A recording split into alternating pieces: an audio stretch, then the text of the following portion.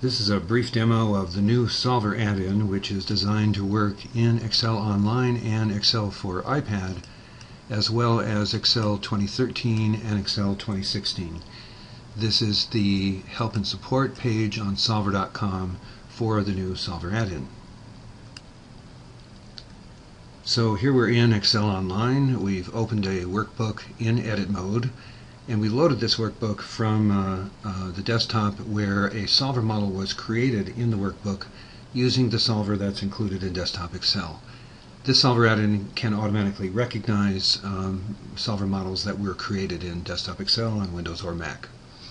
So our first step is to insert the solver add-in. So we go to the Insert tab, Office Add-ins, and in this case we'll have a recently uh, used instance of solver. So we'll pick that and click Insert. And uh, the, task, the solver now appears in a task pane. This new user interface is designed to work well on the iPad and on browsers with limited screen real estate. And as you can see, it's automatically recognizing the model that is already uh, defined in here from the standard solver.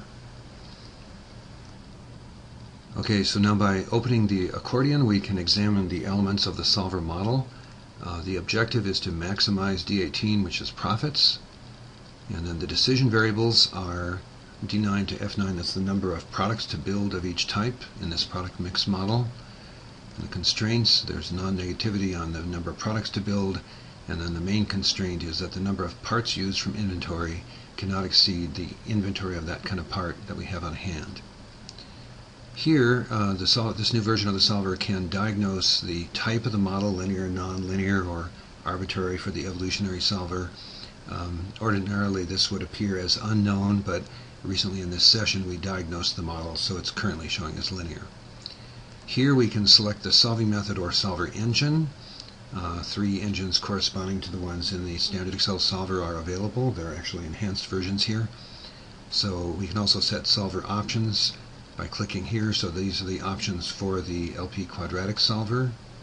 Click cancel. Here are the options for the nonlinear solver. And we can click cancel. And here are the options for the evolutionary solver. And again, I'll click cancel. Now to solve the model, which will require a trip to the backend server, we have to first make sure that the workbook in its current state has been saved.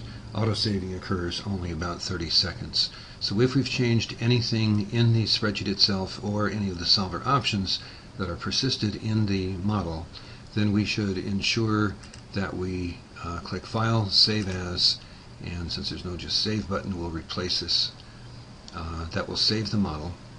And now we can simply click this arrow here to solve the model by sending the workbook to the backend server, which runs the optimization and comes back with a solution message. Solver found a solution, all constraints and optimality conditions are satisfied.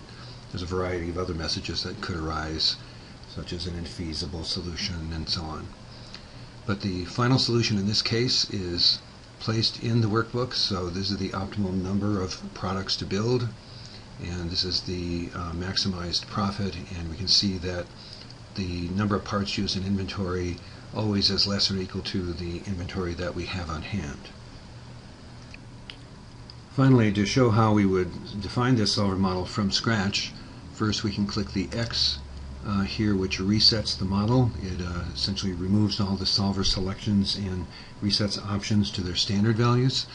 Then we can define each element of the model in turn. I'm clicking away from the objective here and then opening this part of the accordion, clicking here, clicking on the cell I want to use as the objective, and I'd set it to maximize. Now I can open the decision variables, click add since we can have multiple blocks, and then click in this uh, selector here and choose these three cells. Click OK. Now the variables are defined. Now I can open the constraints here and click add.